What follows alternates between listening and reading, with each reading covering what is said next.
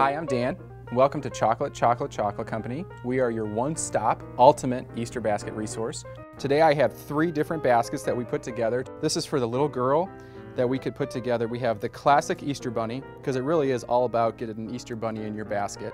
Some of our more traditional jelly beans and little chocolate foil bunnies a little ballerina dancer to kind of complement the basket, and then just different Oreos covered in chocolate, uh, solid chocolate bunnies and solid chocolate eggs. You can get this basket anywhere and then put it together here at Chocolate Chocolate Chocolate Company. And right over here, we have a basket for a little boy. It starts out with, again, the very traditional Easter bunny that you want to start by biting the ears off first.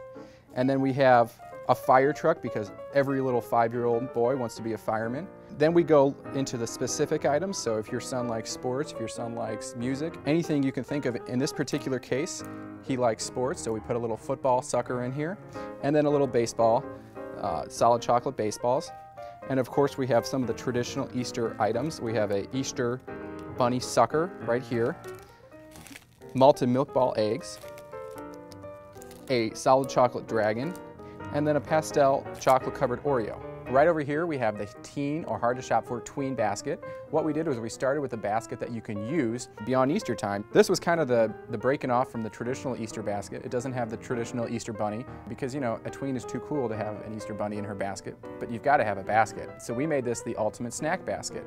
You look down here, you have our chocolate covered Twizzlers, white chocolate covered mini pretzels, pretzels dipped in chocolate and covered with toffee, and then you do have a couple of the Easter items here. We have some, a one pound bag of our milk chocolate Easter eggs, and then some very teen slash tweenish items that you can think of. A cell phone.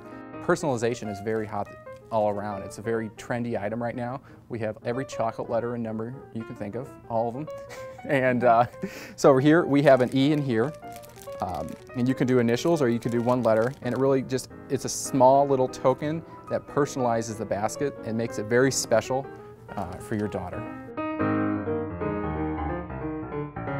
We love it when our customers come in to our stores with their own special Easter basket, which sometimes has sentimental value, and we come put it together for their child exactly how they want it. Grab your favorite Easter basket, come on down to any eight of our stores, and we'll be more than happy to put together the ultimate Easter basket.